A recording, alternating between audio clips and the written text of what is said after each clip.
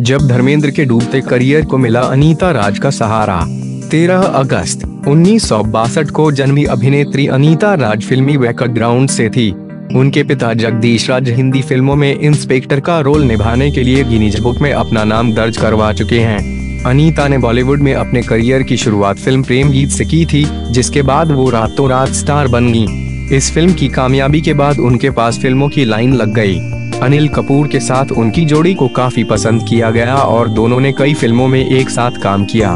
लेकिन अनीता राज के करियर को बड़ा बूस्ट मिला धर्मेंद्र के साथ। अधेड़ उम्र के धर्मेंद्र के साथ उनकी जोड़ी दर्शकों को रास आ गई। इस जोड़ी ने इक्कीस फ़िल्मों में एक साथ काम किया। पर्दे पर इनकी जोड़ी तो हिट थी ही, और साथ ही साथ ऑफ़ स्क्रीन भी ये जोड़ी गौसिप गलियारे में हिट हो गई।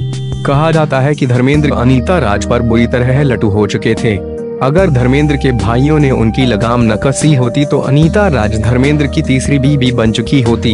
इस दौरान अनीता की ज़िंदगी में सुनील हिंगोरानी आ गए और दोनों ने शादी कर ली।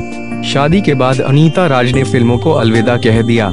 साल 2007 में फ़िल्म थोड़ा प्यार, थोड़ा मैजिक से अनीता राज ने फ़िल्मों में कम किया। 2012 में आई फ़िल्म चार दिन की चांदनी में भी उन्होंने काम किया। हालाँकि, उन्हें कामयाबी नहीं मिली तो उन्होंने टीवी सीरियल 24 2013 तुम्हारी पाखी 2014 एक था राजा, एक थी रानी 2015 में अभिनय के ज़रिए खुद को लाइमलाइट में बनाए रखा।